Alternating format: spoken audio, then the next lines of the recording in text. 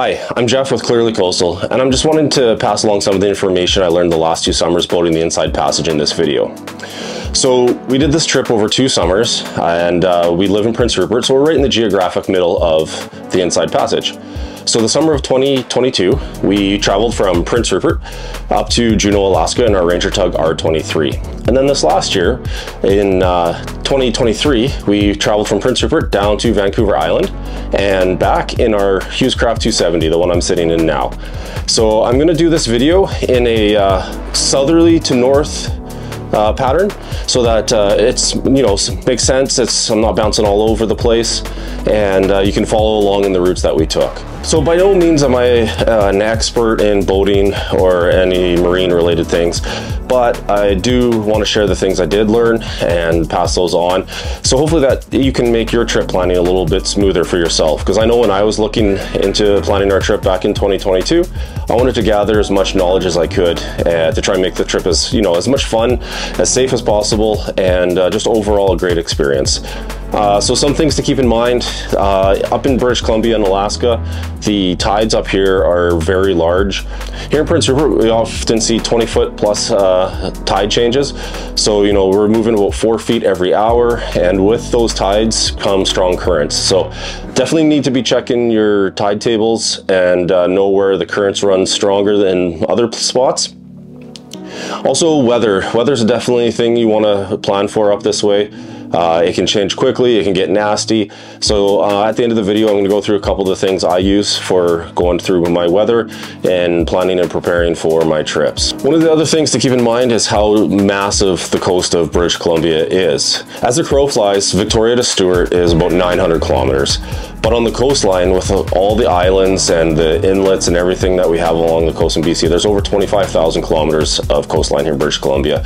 So it's absolutely massive. And uh, hopefully that kind of puts into perspective how much it is and how much you can see. Um, it's really endless, the amount of exploring that a person can do and the things that you can see along our coastline and up into Alaska as well. I don't know their coastline distances, but uh, it's a huge place as well.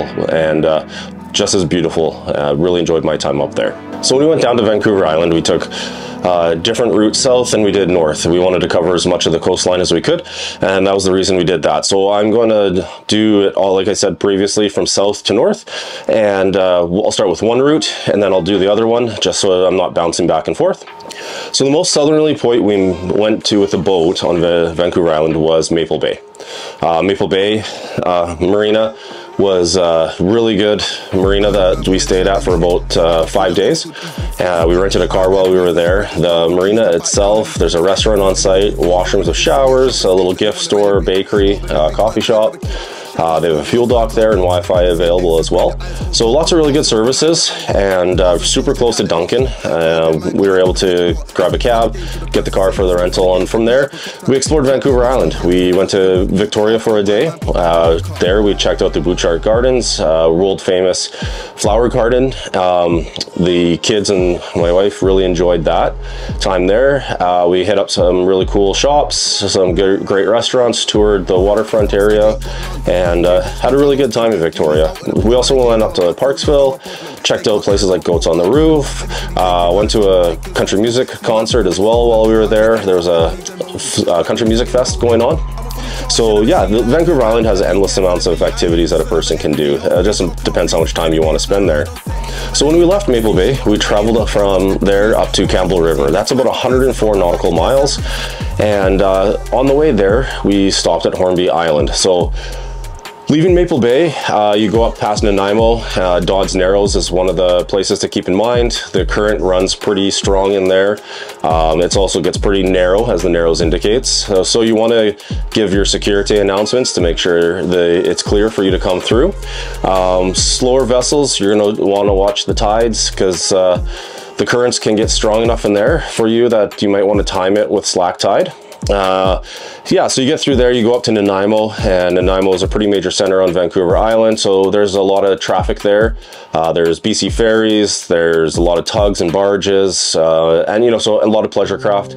So it's a very busy area in the water, so you definitely want to pay attention going through there. Everything is well marked though, and uh, so you just pay attention and you'll be all right. Uh, so then from there, we went to Hornby Island. And Hornby was absolutely gorgeous. Uh, we stopped in for lunch there. It was unfortunately all the time we had, but uh, we anchored just out from the beach. Uh, with there's a bunch of other vessels that were anchored out that way. Really easy spot to anchor. Nice soft sandy bottom. We dug in nice and quick. Hopped in the dinghy, went to shore, and uh, from there, we were able to uh, grab some lunch. It's a short walk from the beach uh, to a little town site, and uh, there's shops and restaurants all through there. Cute little place, and uh, we really enjoyed our short little stay there.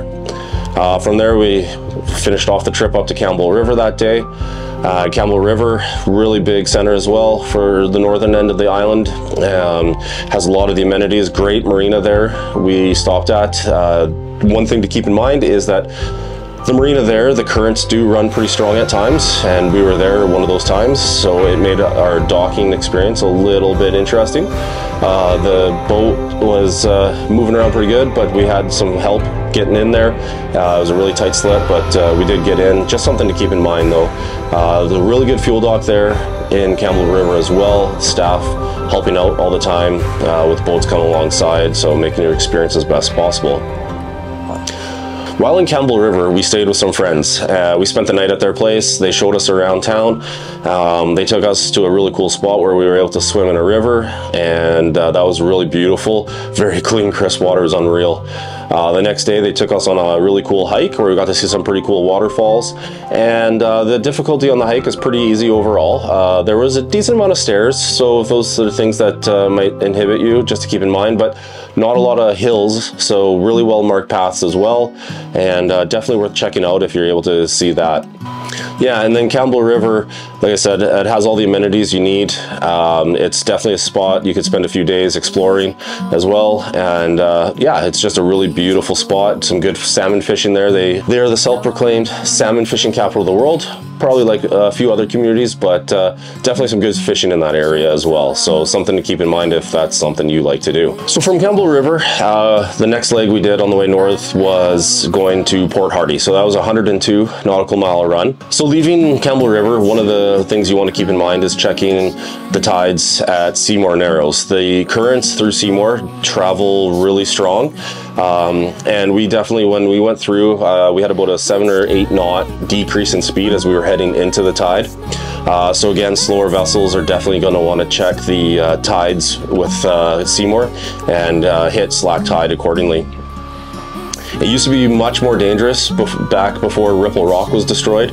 Uh, the Canadian government and British Columbia government back uh, in the 50s or 60s, I believe it was, blew up this huge rock in Seymour Narrows. Um, prior to this rock being blown up, uh, there was over 100 people that died at Seymour Narrows. Uh, it's still a dangerous place, but it's uh, definitely a lot safer than it used to be. Uh, without that rock there, it slowed the current a little bit and made it a little better for passage. So from there, we went up into the Johnstone Strait. Uh, the Johnstone Strait, it was a great uh, day of cruising through there. We had uh, flat water. Um, the weather was a little cloudy and rainy, but like I say, there was very little wind. So the water itself was great, but I have read that people online who, uh, depending on which way the winds and tides are going, can get a pretty steady chop through there. Uh, again, this is part, of, basically part of the inside passage, uh, at least people funneling up into it. And uh, so you're going to get a lot of cruise ships, more tugs and barges uh, carrying various things. Some even coming from Alaska or going to Alaska. Also a lot of other pleasure craft going through the area. Uh, it's a very popular area, boating area obviously. Um, and a lot of people you'll see through here are also going to be doing the inside passage. So definitely a steady flow of traffic through the area. So Port Hardy is the most northerly uh, town on Vancouver Island, and it is your last stop before heading north into the Inside Passage uh, after crossing Queen Charlotte Strait. Uh, Port Hardy itself had a lot of great amenities we found. Uh, there's a free dock, uh, the Fisherman's Dock I believe it was called, that uh, you're able to tie up to and it's free of charge but it also has shore power available uh, which was incredible to have that as a surprise so didn't expect that at a dock that you can go uh, tie up for free also the dock is nice and centrally located not that Port Hardy is huge but right off the dock there there was uh, public washrooms that were open till 11 p.m. if I remember correctly and there was a few little restaurants close by and then a little further walk there was a grocery store and that so Port Hardy itself also has has a fuel dock. Uh, it was closed when we got there, so keep in mind what their hours are if that's something you're gonna need. And uh, there's other uh, hotels and restaurants throughout the town there. So it has a lot of the things that you would need along your stay, or if you wanted to stop there for a few days and, you know, wait out the weather in the Queen Charlotte Strait if it was nasty or anything like that. So just a good stopping point if uh, you need as well. So that was the route we took when we uh, went from the southern end of Vancouver Island and started making our way back home to Prince Rupert. The route we took on the way down, we were closer to the mainland side for the most part because uh, there's a lot of things we wanted to see on over there as well. So I'll go through that route now and we're going to start back in Maple Bay and work our way in reverse order of what we did, but again, south to north. So, so from Maple Bay, we're going to go to the Back Eddy Marina, uh, which is just north of Sechelt. Uh, it's on the north east corner, I guess it would be, of the peninsula there uh, by Skookumchuck Narrows. So that was a 75 nautical mile run uh, from Maple Bay to Back Eddy. We crossed the Strait of Georgia, which is a fairly, uh, you know, decent sized body of water. Uh, so the weather, you know, again, you want to keep an eye on that. We had another day of, uh, of smooth cruising and a beautiful bluebird day as well. So it made the crossing very enjoyable. Um, getting up into there was pretty straightforward. Um, Back Eddy Marina had uh, really good docks. They have uh, showers and bathrooms available as well. We had supper at the restaurant there and the food was good. And we uh, also went for a walk to Skookumchuck Narrows. It was about a five kilometer walk each way from the resort, uh, fairly level for the most part. Uh, you got to walk along the road for a bit and then you get to a trailhead and the trail is nice and wide, very well maintained. Uh, Skookumchuck Narrows are very famous for how fast the currents flow through there. So it was definitely something we wanted to check out and I would recommend anybody to check it out. It was absolutely incredible to see. We were there on a bigger tide and the power was absolutely incredible of the water and how fast it was moving. Uh, just really puts into perspective how powerful water really is. And uh, like I say, it's definitely something you're going to want to check out if you're in that area. Um, and there's lots of people watching that night. The odd time we've heard of people even, I've seen video as as of people going in their whitewater kayaks and uh, riding the surf in there. So definitely some pretty big waves that you can see in this video here. So continuing to work our way back, uh, leaving Back Eddy, we're gonna go back up into Princess Louisa Inlet and then over to Powell River. So that was 91 nautical miles in length. Now, Princess Louisa Inlet and Malibu Narrows, uh, absolutely beautiful. Chatterbox Falls at the end is what we were going to see, but the whole journey up in there was absolutely stunning. Malibu Rapids is uh, definitely another place you need to be checking the tides for slower vessels. You're also going to be needing to announce your security coming and going. Uh, there's definitely only room for probably one vessel at a time in or out.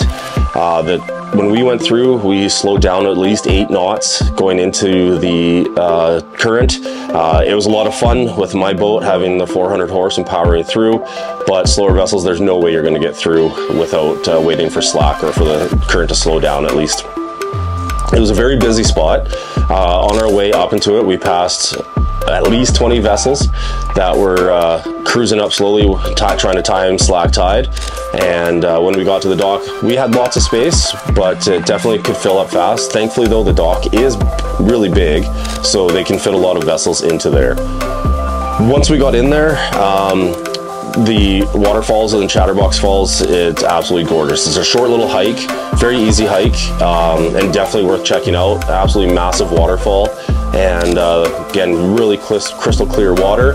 We swam in the ocean there as well for a bit. Uh, it was decently warm in there not too bad at all. And uh, we just really enjoyed our time there. We all said that we'd love to go back and spend a night or two on the boat exploring in that area. It was just absolutely stunning. Uh, one thing I didn't mention once you get past Malibu Rapids going into Princess Louisa it's a no wake zone. Um, so you're supposed to keep your speed down uh, and it's only about a if I remember correctly, about a five kilometer run in from the Narrows up to the waterfalls. So really not too far to slow your speed down. On the way out, it was beautiful. So we uh, made some lunch on the back deck and just uh, took in the scenery as we, you know, slowly cruised back out to the rapids. So definitely make your uh, way through there in the area. It's a must see on, in uh, my opinion. And uh, yeah, it's just a gem of the coast. So go in and there, check it out. So from there to Powell River, Powell River, pretty decent size uh, center just north of the Sunshine Coast. We stayed at Beach Garden Marina. Uh, that marina has about 55 slips, pretty good sizes. I have a fuel dock right there, uh, so we topped up with our fuel there. Uh, there's a hotel with restaurant that you have access to as well, uh, and they have showers and bathrooms available for guests of the marina. So really good facilities there, and uh, we were able to get a vehicle from friends of ours and so we went explored Powell River a little bit hit up a really awesome ice cream shop and a brewery and uh, definitely really had a great time and a beautiful sunset along the coast there so definitely enjoyed our short little stay in Powell River. Powell River we were, went back to Dent Island but we also along the way in between there uh, explored Desolation Sound. So this total leg was 117 nautical miles uh, Desolation Sound, we had been told many awesome things about it. The day we went through there, it was raining, so we didn't spend too much time there. But we had been told how warm the waters were in Desolation Sound, so we had to check it out for ourselves, and they were warm. So coming from Prince Rupert, where our water is really frigid and not too many people go swimming, the odd person does, um, to Desolation Sound, it was like going into a bathtub the water was so warm we all jumped in and took a little swim just to say we did and experience it and uh, we definitely had a great time with that. Um, we also tried to stop in at refuge cove but however with the rain and the weather that day uh, it was really busy. I'm guessing people are just trying to get out of the weather. Uh, so we were unfortunately not able to find any space to dock and all the mooring buoys were also full. So we weren't able to stop in there but from what i've been told and researched myself. Seems like a really cool spot, and if you're able to get in there, I would definitely recommend it. There's some neat little shops, a grocery store, and uh, yeah, everyone says it's a must stop. So if we get back that way, we'll definitely check it out, but I recommend that you check it out as well. So from there up into Dent, Dent Island, sorry, uh, we stayed at the Dent Island Resort. Um, you go through a few rapids on the way up there.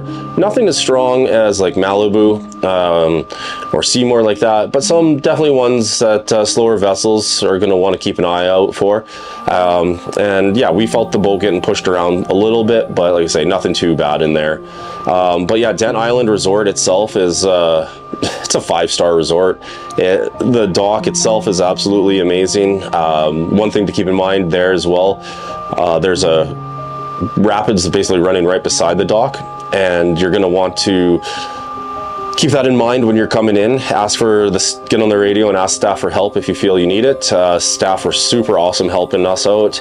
Get in there. Um, they're also great for getting whatever you wanted there. Uh, they would get you ice if you wanted. If there's anything they could plan or book, you could do fishing charters through there. They have jet boat tours of uh, the rapids, the Dent Island Rapids, or sorry, Dent Rapids.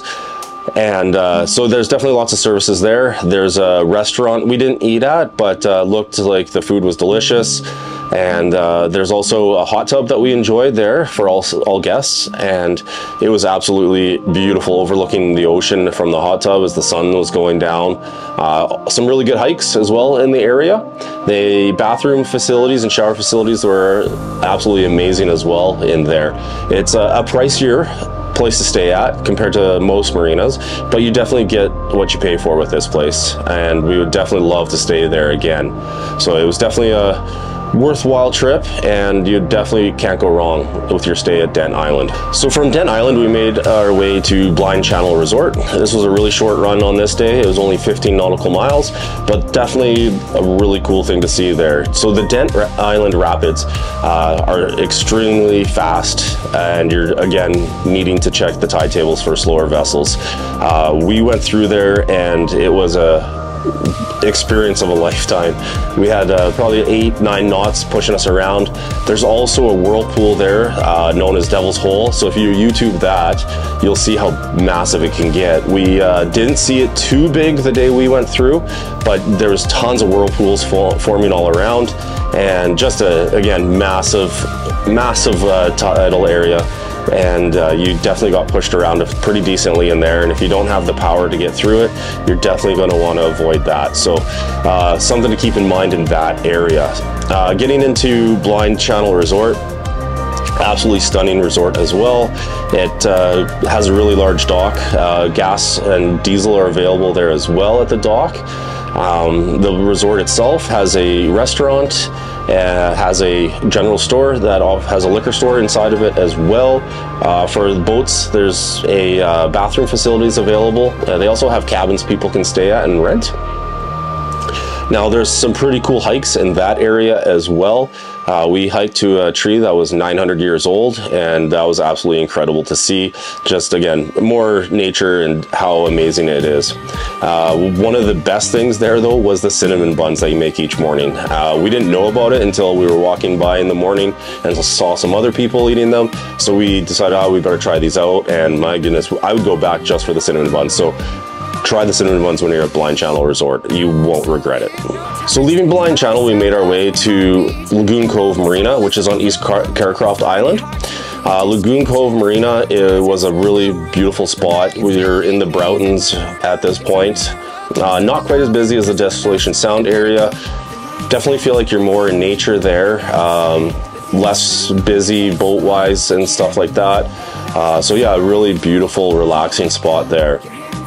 Now, the Lagoon Cove Marina itself, uh, the facilities are really good. Really like the dock there. Um, the staff was very helpful and getting us all settled in. And then one thing that uh, that marina does, which was neat as well, is every afternoon they offer a potluck, and all the boaters who are there are invited to bring a dish up and just share stories and visit with other boaters. And the cool thing as well is the marina brings in uh, fresh prawns that they've caught for everybody. So everybody can partake on those. Uh, unfortunately, we just missed out on this when we came into there. Uh, we just tied up a little bit too late and they were just wrapping up, but it looked like everybody was having a good time. Uh, there they have some hiking trails as well. There's bathroom facilities. Uh, showers were available uh, just uh, for a small fee, um, so pretty reasonable though. Uh, they also offered Wi-Fi services there. We really enjoyed our short stay there as well, and uh, it was a nice location. So Lagoon Cove, we're gonna go uh, back to Port McNeill. Uh, that was 30 nautical miles. And Port McNeill, we had just stopped in there for lunch to grab a quick bite to eat, and we stopped at Devil's Bath Brewery. Uh, they make wood-fired pizzas there, and the pizza was absolutely delicious. We all really liked that. Um, there was a free community dock we were able to tie up to for free. I think it was about two hours or you're allowed to. Uh, and if you need to be a bit longer, they said just to call the harbor master and let him know you might be a bit longer. So that was really convenient as well. Uh, great fuel dock that we used there. Um, nice and big. Staff was helpful getting us uh, all tied up and uh, all our fuel there. So Port McNeill, uh, a little smaller than Port Hardy, but still has a is a great place to uh, you know get services, food, whatever you might be looking for. Uh, also, Telegraph Cove is just south of there. So we had just poked our nose into Telegraph Cove didn't really have time to stop there. but Would definitely like to check it out though again in the future. Looked like a pretty cool little touristy spot to check out. Okay, so now we've covered both our routes, north and south, on our Vancouver Island leg, um, up to the north end of Vancouver Island. So this is where we intersect at Port Hardy and we can start making our way north towards Prince Rupert. So from Port Hardy, we went to Shearwater, and that's 177 nautical miles. So one of the things you want to keep in mind when leaving Port Hardy um, is Queen Charlotte Strait. That was our biggest open water crossing on this trip, and it's known to get pretty nasty when the weather uh, doesn't want to cooperate with your plans. So you're definitely going to want to keep an eye on the weather with there that area as it gets really nasty. We were fortunate that both directions we uh, had great weather um, overall. The way south, uh, it was fairly flat, a little bit of rain, but overall not bad. Uh, the way north, we had some six to seven foot rollers, but they were spread out far enough that you were just able to roll up and down them and you weren't getting slammed on them. So uh, it was definitely easy crossing for us in that, but uh, it can get a lot, uglier. So keep your eye on, on the weather. And if you need to, you know, hang out for a day or so, then definitely do that and uh, don't take your chances. So from there, we uh, get up into Fitzhugh Sound. Uh, really cool, beautiful area in there. It's known to have a lot of humpback whales in there. So keep your eyes open in there. We definitely saw our fair share and had a few put on a really cool show for us, doing some tail slapping and such. Uh, there's also a lot of places that if you do need to duck out of the weather that you can. Uh, one of the more popular ones, I guess, is Hakai Pass. Um, we didn't go in there, didn't, but uh, I've seen videos and pictures of the beaches in there, and uh, absolutely stunning. So definitely somewhere to consider as an anchorage, whether you just want to stop there or if you just need to get out of some weather. Another thing through there is Rivers Inlet. So that's a world famous salmon fishing location. Uh, and I stopped for a little bit on the way home to fish for an hour or so. And uh, we caught two coho and a pink in that hour and they were really nice sized fish and I can see why it's a well-known place for fishing. Uh, it'd be really cool to spend a few days just fishing there. So definitely worthwhile uh, for any fishermen out there. It's definitely a place you want to put on your list. So from there you get up into Denny Island where uh, Bella Bella and Shearwater are located. So we stopped at, for fuel in Shearwater both ways and uh, the fuel dock there you want to keep in mind, I thought prices were going to be higher than Vancouver Island, but actually um, Shearwater was cheaper than Maple Bay and a couple other marinas. So I was very shocked by that, thinking that with Bella Bella and Shearwater being, you know, more remote, that uh, you would have a higher fuel price. So if you have the chance, maybe call ahead, see where they're at, you can plan accordingly. On the way south, we spent one night in Shearwater and uh, the dock there was really great as well. There's a convenience store and restaurant just up from the dock and there's public washrooms there as well. There's also a cool short little hike to a World War II bomb shelter. So it was worth checking out. We all had a great time seeing that. A little throwback in history there. So yeah, Shearwater, really good place. And Bella Bella, they have a lot of services. The Bridgeview also has a shop there, I believe now as well. So there are some, uh, if you need some things fixed, uh, you can always use that as a location if need be. So, so from Shearwater, we're gonna head up to Bishop Bay. This was 175 nautical miles.